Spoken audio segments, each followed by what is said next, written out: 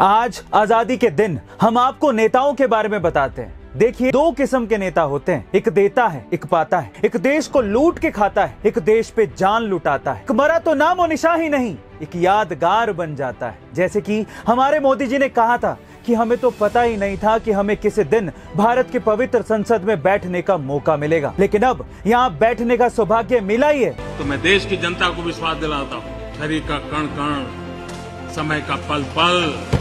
सिर्फ़ और सिर्फ़ देशवासियों के लिए। तो फिर हम भी ये कहते हैं कि भगवान करे मेरे देश के सब नेता ही बन जाएँ ऐसे। थोड़े से लाल बहादुर हो थोड़े से हो मोदी जैसे। राम ना करे मेरे देश को, कभी भी ऐसा नेता मिले जो आप भी डूबे, देश भी डूबे, जनता को भी ले डूबे।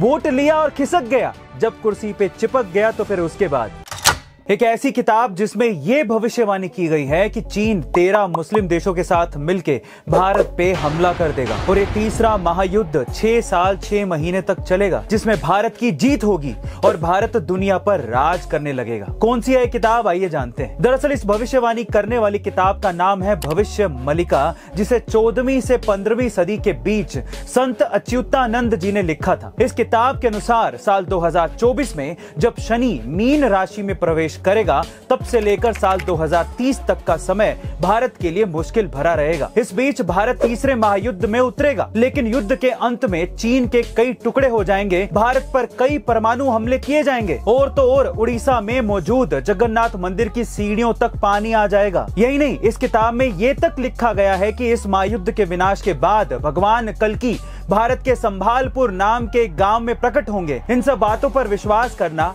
आपके हाथ में। हम सिर्फ़ उस किताब और उसमें लिखी गई बातों के बारे में बता रहे हैं। कैसे भारत के एक प्रधानमंत्री किसान का भेष धारण करके पुलिस स्टेशन पहुँच गए और उसके बाद क्या हुआ पुलिस वालों के साथ? चलिए जानते हैं। देखिए बात है साल उन्नीस की, जब उत्तर प्रदेश के उसराहार पुलिस स्टेशन में फटे पुराने कपड़े पहनकर एक किसान अपने बैल के खो जाने की शिकायत लेकर आया था। लेकिन वहाँ के पुलिस इंस्पेक्टर ने उस किसान से शिकायत दर्ज करवाने के लिए रिश्वत मांग ली। बड़ी मशक्कत के बाद उस किसान ने अपनी जेब से पैंतीस रुपए निकालकर उस पुलिस वाले के हाथ में धर दिए, जिसके बाद उस पुलिस वाले ने शिकायत दर्ज कर ली और उस पर किसान के दस्तखत लेने के लिए कागज़ किसान के हाथ में दिए। लेकिन उस किसान के दस्तखत देखने के बाद उस पुलिस वाले के पैरों तले ज़मीन खिसक गई और पूरे पुलिस स्टेशन में हड़कंप मच गया। क्योंकि उस कागज़ पर किसी और के नहीं, बल्कि उस समय के प्रधानमंत्री चौधरी चरण सिंह जी के दस्तखत थे। और वो किसान कोई और नहीं, बल्कि खुद देश के प्रधानमंत्री थे। और उसी दिन प्रधानमंत्री चौधरी चरण सिंह जी ने उस रिश्वतखोर पुलिस वाले के साथ साथ पूरे पुलिस स्टेशन को ही सस्पेंड कर दिया था।